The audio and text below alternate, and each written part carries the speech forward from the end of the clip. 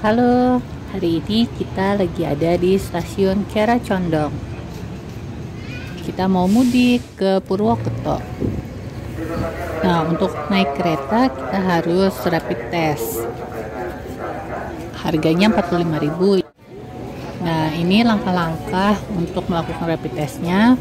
Pertama, kita isi uh, pendaftaran online dulu melalui link ini. Terus nanti kita tunggu dipanggil di sana loket 1 dan 2 nanti dipanggil nama kita. Terus kalau sudah melakukan pembayaran di sana kita masuk ke dalam ruangan itu.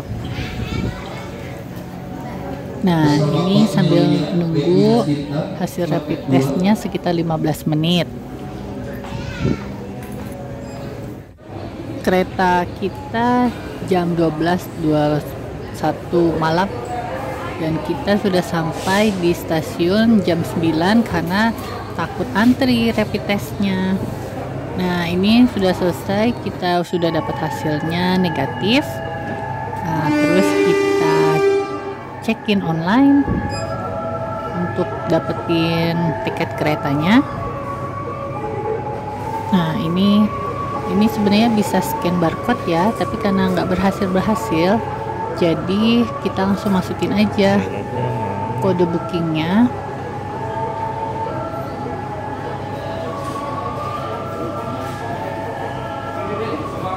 Nah kalau sudah tinggal di print dicetak tiketnya. Sudah dapat. Nah ini kita sudah di dalam peron. Sedang menunggu keretanya. Ini masih lama sih masih sekitar uh, dua jam lagi ya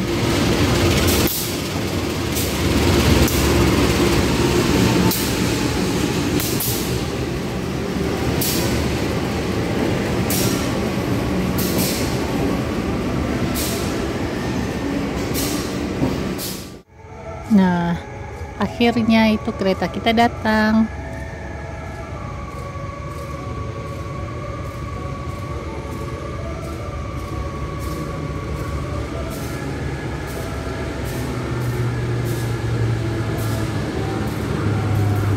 Kita naik kereta ekonomi Serayu. Karena dari Bandung memang ada kereta ekonomi untuk ke Purwokerto. Nggak ada kereta eksekutif ya. Nah sebenarnya tujuan kita itu ke Banjarnegara tapi juga nggak ada kereta ke sana. Jadi yang paling dekat itu di Purwokerto. Kebetulan juga ada kakak ipar di sana. Jadi kita mampir dulu ke sana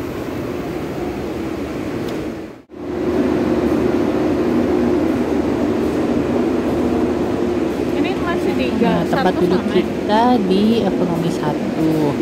Paling gerbong paling depan. Kita naik dulu dari ekonomi 2 dan jalan menuju ke gerbong ekonomi satu.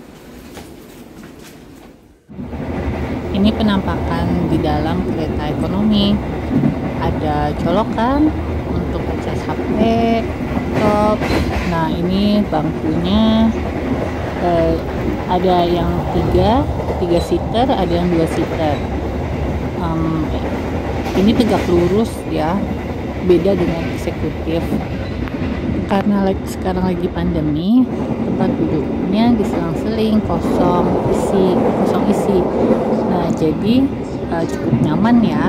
Uh, kita bisa dapat dua baris bangku untuk kita berdua